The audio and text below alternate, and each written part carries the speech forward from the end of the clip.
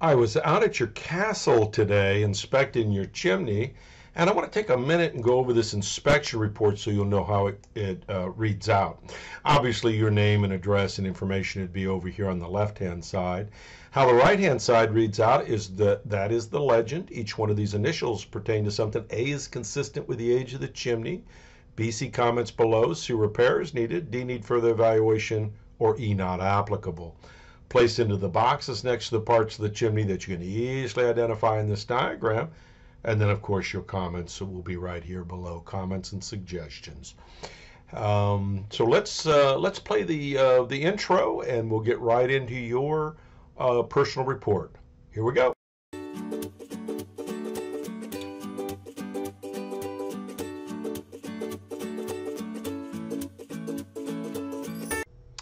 Hey, Catherine, it was great to see you and meet with your clients out at the uh, condo today. What a beautiful condo. Hey, what a great location, too, by the way. Let's uh, let's take a look at the top.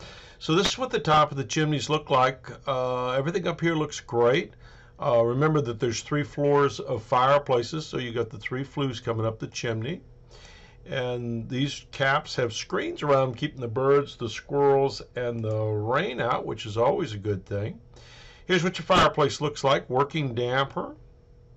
Uh, this back wall looks great. I moved that metal out of the way. I wanted to see especially this lower half here and making sure that there was nothing being covered up by the metal.